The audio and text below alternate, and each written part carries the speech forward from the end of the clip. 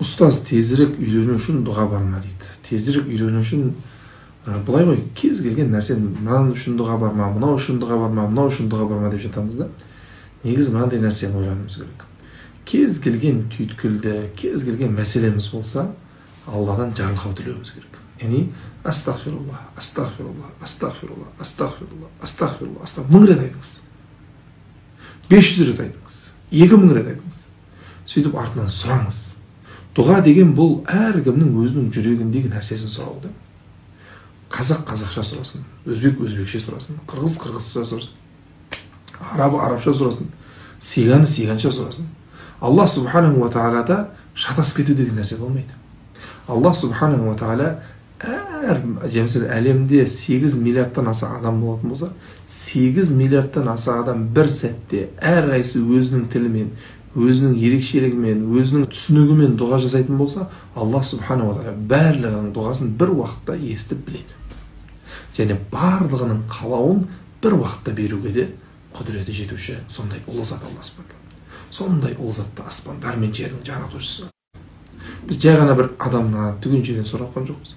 Аспандар мен жердің жаратушысы болған алла субханала тағаладан сұрап жатырмыз.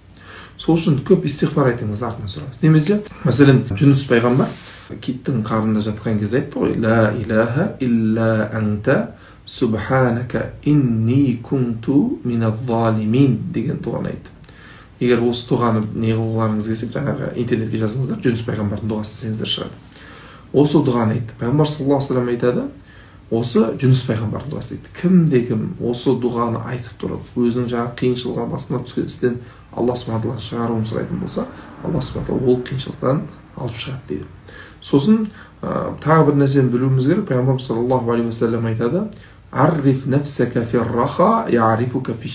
яғни кеңшілік кезде басыңа іс түспей тұрған кезде дұға жасаумен құлшылық жасаумен алла субханала тағалаға иманыңды көрсетумен раббыңа өзіңді танып сонда басыңа іс түскен кезде жаңағы қиыншылыққа түскен ұрынған кезде алла субханала тағала сені дұғаңды қабыл етумен алла тағала сені танитын болады дейді. Міне осы нәрселерге мұқият болатын болсақ иншалла үйлену мәселесі болсын басқа болсын үйлену қиыншылық болып жатқан болса жаңағы истиғфар айтыңыз көп истиғфар айтыңыз да дұға жасаңыз иншалла дұға жасаңыз кейін бірақ дұға жасап алып алма піс аузыма түс деп отыра беруге болмайды. Біздің ислам шариғатында бұл реалдық дін да реалдық дін ислам шариғатында жақсылап дұға жасайсыз да кейін әрекетіңізді жасайсыз әрекетіңізді жасайсыз сонда сіздің әрекетіңіз бен дұға үйлесу керек сонда иншалла соның берекетін көретін боласыз